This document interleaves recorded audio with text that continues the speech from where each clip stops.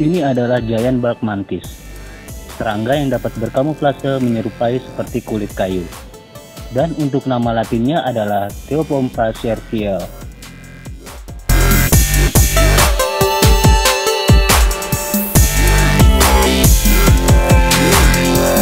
Ada lebih dari 20 spesies untuk jenis ini.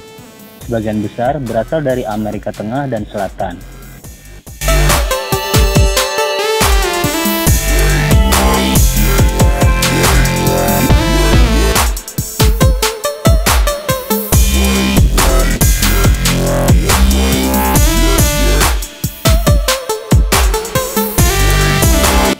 Serangga ini adalah hewan predator yang dapat memburu mangsanya dengan cara menyergap. Biasanya dapat ditemukan di batang pohon karena kemampuan mereka untuk menyatu dengan kulit kayu.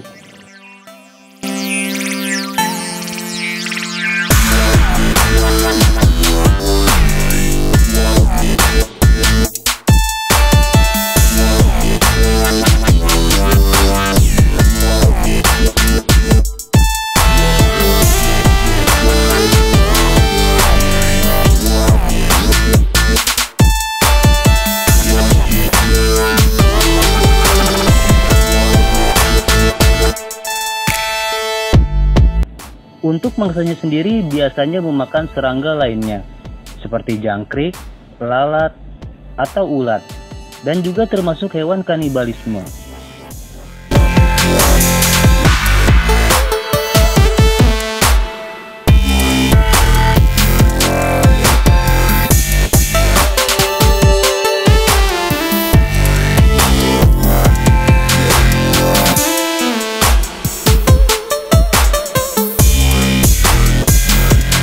Untuk reproduksinya dengan cara bertelur.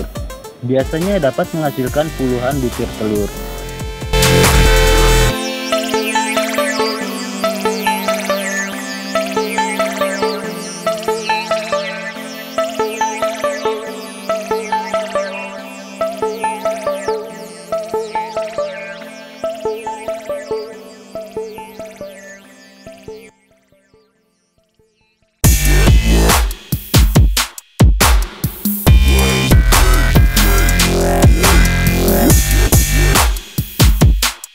Ya, sekian dulu video dari saya.